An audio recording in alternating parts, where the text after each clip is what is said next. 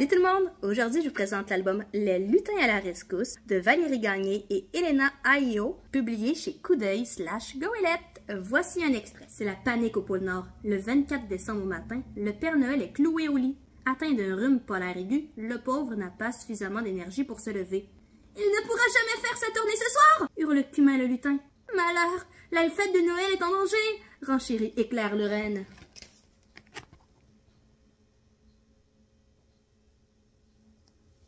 C'était Les lutins à la rescousse chez Coup d'œil.